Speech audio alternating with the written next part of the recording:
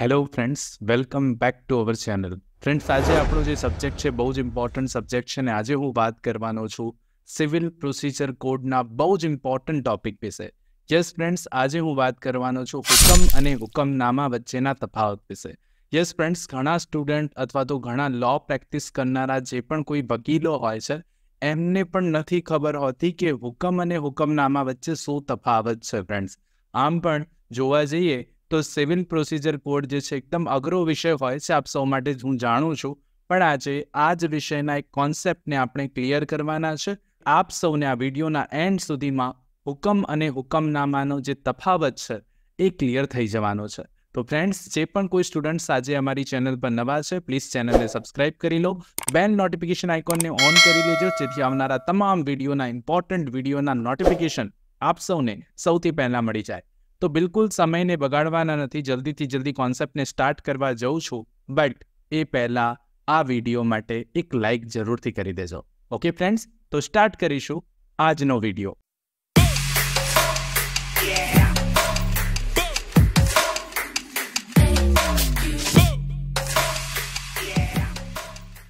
yes friends તો difference between decree and ઓર્ડરનો આજે આપણે કોન્સેપ્ટ સમજવાના છે સિવિલ પ્રોસિજર ઓગણીસો આઠનો આ બહુ જ અગત્યનો કોન્સેપ્ટ છે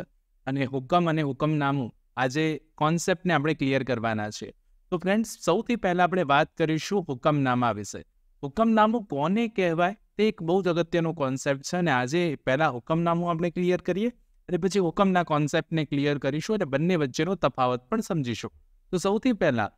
સિવિલ પ્રોસિજર કોડની કલમ નંબર બે સબસેક્શન બેમાં બે બેમાં હુકમનામાની વ્યાખ્યા આપેલી છે હુકમનામું એટલે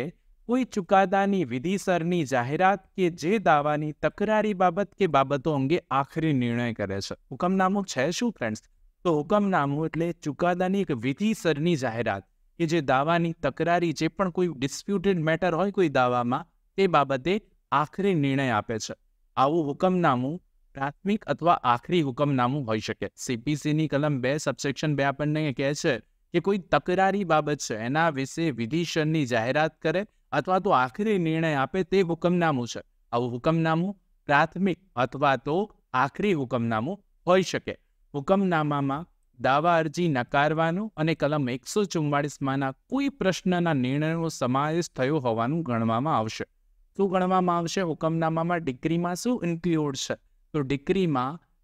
ડીડી જેને આપણે કહીએ છીએ ને દાવા અરજી નકારવી ડિસમિસલ ડિસમિસ ફોર ડિફોલ્ટ જે છે એ આવી જાય અને કલમ એકસો ચુમ્માળીસનો રેસ્ટિટ્યુશનનો કોન્સેપ્ટ છે ખાસ કરીને સિવિલ પ્રોસિજર કોડની કલમ એકસો ચુમ્માળીસ આપ જોશો તો એ રેસ્ટિટ્યુશનનો કોન્સેપ્ટ આપેલો છે ને રેસ્ટિટ્યુશન પણ ડિક્રીમાં સમાવેશ છે પરંતુ તેમાં કોનો સમાવેશ નથી થતો તે બહુ જાણવું જરૂરી છે તો એમાં તે નિર્ણય સામે હુકમ સામેની અપીલ થઈ અપીત તરીકે અપીલ થઈ જ سکتی હોય જેને આપણે સીએ અપો કહીએ છે શું કહીએ છે સીએ અપો સિવિલ અપીલ ફ્રોમ ઓર્ડર હોય તો તે ડિગ્રી નથી અને એ જ રીતે કસૂનને કારણે રદ કરવાનો હુકમ डीडी ની વાત આર રિજેક્શન ઓફ પ્લેઇન્ટ માં આપણે જોયું અહિયાં ખાસ કરીને રિજેક્શન ઓફ પ્લેઇન્ટ નો સમાવેશ થસે જનવાર ઓર્ડર 7 રૂલ 11 ની વાત હો ને તો એ ડિગ્રી માં આવે છે પરંતુ डीडी થાય રિફોર્ડ ડિસ્મિસ્ટ થસે તો એ ડિગ્રી માં આવતો નથી બે વસ્તુ ડિગ્રી માં ઇન્ક્લુડ છે ને બે વસ્તુ ડિગ્રી માં ઇન્ક્લુડ નથી કઈ બે વસ્તુઓ પહેલા યાદ રાખી જો ઓર્ડર 7 રૂલ 11 જે ડિગ્રી માં ઇન્ક્લુડ છે અને જે રીતે કલમ 144 રિસ્ટિટ્યુશન જે ડિગ્રી માં ઇન્ક્લુડ છે હુકમ નંબર માં સુ સામેલ નથી તો સી એફ્રો જેને આપણે શોર્ટ માં ગઈ શકે સિવિલ અપીલ ફ્રોમ ઓર્ડર અને બીજો डीडी જેને આપણે ડિસ્મિશન ફોર ડિફોલ્ટ કહીએ છીએ ઓકે ચારે દાવા નું સંપૂર્ણ નિકાલ કરવાની આગડની કાર્યવાહી બાકી હૈ ત્યારે થયેલું હુકમનામું પ્રાથમિક હુકમનામું છે આ હુકમનામામાં પણ પ્રકાર પડે છે માં સૌથી પહેલો કોન્સેપ્ટ એવો છે કે જ્યારે દાવાનો સંપૂર્ણ નિકાલ કરવાની જે આગળની કાર્યવાહી જે છે એ બાકી હોય હજુ દાવો સંપૂર્ણપણે નિકાલ ન થયો હોય તો એવું જે ડિક્રી પાસ થાય એવું જે હુકમનામું આવે તે હુકમનામું પ્રાથમિક હુકમનામું કહેવાય જ્યારે જે હુકમનામાંથી દાવાનો સંપૂર્ણ નિકાલ થઈ જતો હોય એટલે કે કંઈ પ્રોસિડિંગ બાકી જ ન રહે સંપૂર્ણપણે નિકાલ નિકાલ થઈ જાય દાવાનો તો તે આખરી હુકમ નામો હુકમ નામો અંશતઃ પ્રાથમિક ને અંશતઃ આખરી પણ હોઈ શકે છે ફ્રેન્ડ્સ આ પણ એક અગત્યનો કોન્સેપ્ટ છે આ હુકમ નામાની વાત છે હુકમ નામામાં થોડાક ઉદાહરણો આપું તો દાવવાના કારણના અભાવે કોઈ પ્રતિવાદીને મુક્ત કરી દેવામાં આવે દાવવાનું કોઈ કારણ હતું જ ને અને પ્રતિવાદીને મુક્ત કરી દે તો એ ડિગ્રી છે માંગવામાં ને વધારે ને કોર્ટ થી પરબાઈ કરવામાં આવે અને તેના કારણે અપીલ રદ કરવાનો હુકમ કરવામાં આવે તો તે હુકમ નામો છે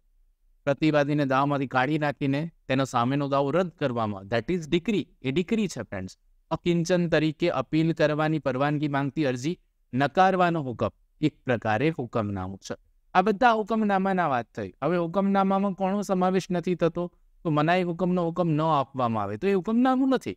મનાઈ હુકમ દમે માંગ્યો હતો અદાલતે નથી આપો ધેટ ઇઝ નોટ ડિકરી એ જ રીતે હિસાબો લેવા માટે કમિશનરની નિમણૂક કરવામાં આવી તો એ ડિકરી છે કે નહીં ફ્રેન્ડ્સ યોગ્ય અદાલત સમક્ષ દાવા દાવાજી રજૂ કરવા માટે દાવાજી પાછી આપી દીધી તો એ પણ ડિક્રી નથી ફ્રેન્ડ્સ ઓકે તો આ ડિક્રીનો કોન્સેપ્ટ થયો કલમ બે બેમાં હુકમનામાની વાત કરવામાં આવી જે આખો કોન્સેપ્ટ આપણે સમજ્યા હવે સમજીએ ઓર્ડર વિશે હુકમ હુકમની વાત કરીએ તો હુકમ સિવિલ પ્રોસિજર કોડની કલમ નંબર બે ચૌદમાં એની વ્યાખ્યા કરવામાં આવી છે અને બે ચૌદ એટલું જ આપણને જણાવે છે કે હુકમ એટલે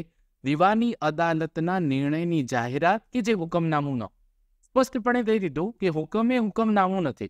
અને દીવાની અદાલતના નિર્ણયની જે જાહેરાત કરે છે અને જે વસ્તુ હુકમનામું ન હોય એ હુકમ છે નિર્ણયની જાહેરાત દેટ ઇઝ ઓર્ડર પણ જે હુકમનામું ન હોય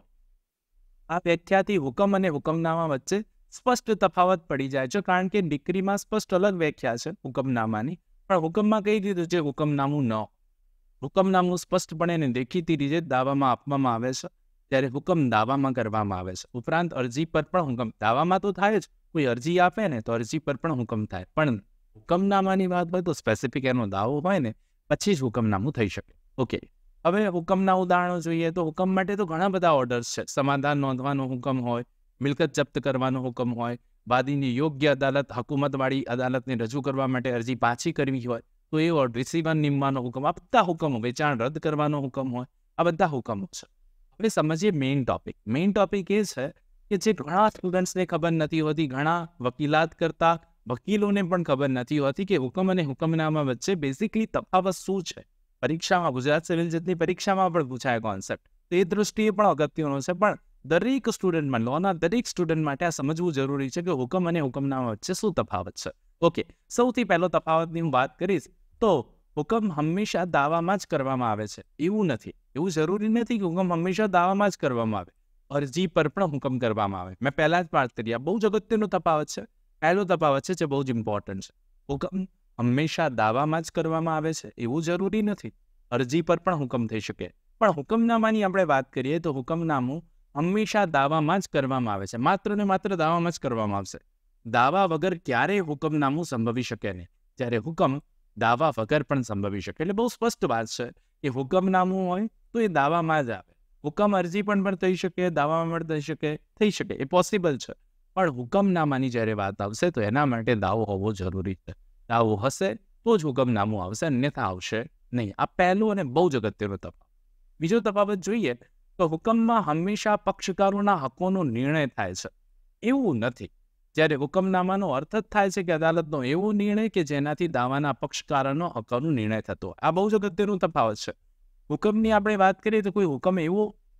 જરૂરી નથી કે એવો જ હોય કે જેનાથી પક્ષકારોના હકોનો નિર્ણય થઈ જતો હોય જરૂરી નથી બીજા બીજા કોઈ કામ માટે પણ હુકમ હોઈ શકે બટ જ્યારે આપણે હુકમનામાની વાત કરી રહ્યા છે ત્યારે એની તો વ્યાખ્યામાં જ લખેલું છે હુકમનામું એટલે અદાલતનો એવો નિર્ણય કે જેનાથી પક્ષકારોના હકોનો નિર્ણય આવતો હોય અને પણ આપણે જાણો છે કે હુકમનામામાં લેસ્ટ સ્ટેજ છે અને લેસ્ટ સ્ટેજ છે જેથી ડિસ્પ્યુટેડ બાબત જે પણ કોઈ છે તકરારી મેટર જે પણ કોઈ છે એનું એની પતાવટ કરે છે એક પ્રકારે કે એનું નિર્ણય આવી જાય છે ઓકે સો બીજો તફાવત મો જગત્યનો તફાવત છે કે હુકમમાં હંમેશા પક્ષકારોના હકોનો નિર્ણય થતો હોય તેવું જરૂરી નથી પણ હુકમનામાની વ્યાખ્યામાં જ આ વસ્તુ આવી જાય છે કે અદાલતનો એવો નિર્ણય છે કે જેનાથી દાવાના પક્ષકારના હકોનો નિર્ણય થતો આ બીજો નંબરનો લીધો તબાવત જોઈએ તો હુકમ એટલે હુકમ તેના કોઈ પ્રકારો નથી હુકમ ના અહીંયા કોઈ પ્રકારો આપવામાં આવે નથી પણ આપણે હુકમનામાની વ્યાખ્યા જોઈએ ત્યારે સ્પષ્ટपणे જોઈ લીધું કે હુકમનામ કાં તો પ્રાથમિક થઈ શકે આખરી થઈ શકે અંશતઃ પ્રાથમિક થઈ શકે કે અંશતઃ આખરી હુકમનામું થઈ શકે એટલે કે બે બે ના પ્રકારોમાં પણ તબાવ છે એટલે કે હુકમનો કોઈ પ્રકારો નથી જ્યારે હુકમનામાના પ્રકારો આપવામાં આવેલા છે ત્યાર બાદ જો દરેક હુકમની સામે અપીલ થઈ શકની હતી દાખલા તરીકે કલમ 104 અથવા હુકમ 43 નિયમ 1 માં જણાવેલ હુકમો સામે જ અપીલ થઈ શકે એ સિવાય બીજું એ સિવાય નહીં એટલે કે 104 નો ઓર્ડર થયો હોય તેના ઉપર અપીલ થઈ શકે અને એ જ રીતે ઓર્ડર 43 નિયમ 1 મુજબ કોઈ હુકમ થયો છે તો તેના પર અપીલ થઈ શકે બાકી કોઈ હુકમ પર અપીલ નહીં થઈ શકે જ્યારે દરેક હુકમનામાં સામે અપીલ થઈ શકે ઓકે તો અમુક ઓર્ડર અહીંયા ધભાવત એવો છે કે જ્યારે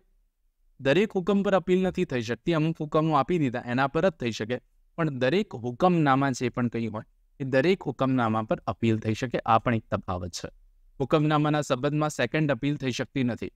હુકમના સંબંધમાં સેકન્ડ અપીલ થઈ શકતી નથી જ્યારે હુકમનામામાં કાયદાનો પ્રશ્ન હોય તેના સંબંધમાં હાઈકોર્ટમાં સેકન્ડ અપીલ થઈ શકે આ એક બીજો તફાવત કે હુકમની આપણે વાત કરી હોય તો તેમાં સેકન્ડ અપીલ થઈ જ ન શકે પણ હુકમનામામાં જ્યારે કોઈ કાયદાનો પ્રશ્ન આવીને ઊભો રહે એ મંબાટ સુ હાઈકોર્ટ ને સેકન્ડ અપીલ થઈ શકે ફ્રેન્ડ્સ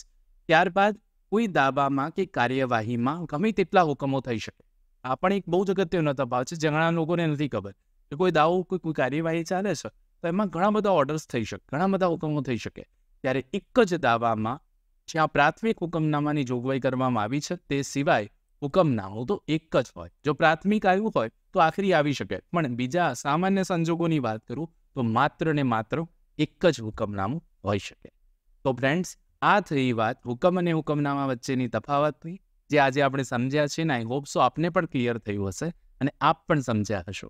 આઈ હોપ આજના સેશનમાં આજના વિડીયોમાં આપ સૌને હુકમ અને હુકમનામાનો કોન્સેપ્ટ સમજાઈ ગયો હશે જો સમજાઈ ગયો હશે તો પ્લીઝ આ વિડીયોને લાઇક કરી દેજો ચેનલ પર જો આપ આજે નવા છો તો પ્લીઝ ચેનલને સબસ્ક્રાઇબ કરીને બેલ નોટિફિકેશન આઇકોનને ઓન કરી દેજો આવા જ મોસ્ટ ઇમ્પોર્ટન્ટ વિડીયો હું આપ માટે લાવતો રહીશ બટ ચેનલ ને સબસ્ક્રાઇબ કરી લેવાની છે વિડિયો ને લાઈક કરી દેવાનો છે અને આપના મિત્રો સાથે જરૂરથી આ વિડિયો શેર કરજો જેથી એમનો પર વિક્રે અને ઓર્ડર વચ્ચેનો જે તફાવત છે એ ક્લિયર થઈ જાય અને હવે બીજા કોઈને પૂછવું પડે નહીં thank you so much friends મળીશું નેક્સ્ટ વિડિયોમાં નેક્સ્ટ ટોપિક સાથે થેન્ક્સ અ લોટ ફોર